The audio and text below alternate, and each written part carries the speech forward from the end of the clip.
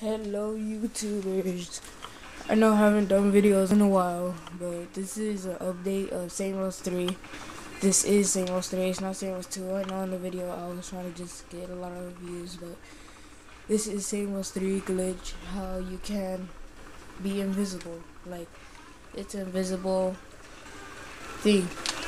Oh look, the VTOL. Yes, I was up here before, but I just wanted to show you guys this glitch.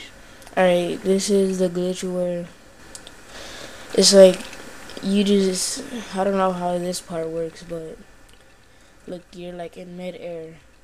So that's part of the glitch, and there's just one thing I want to show you. Nope, it's not right there. It's pretty tricky. You gotta go certain places. Alright, you wanna fall right there. Alright, look at this. So, this is the glitch where you just stand in midair.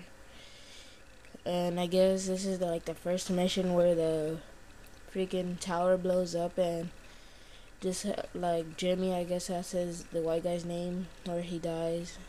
I mean Johnny.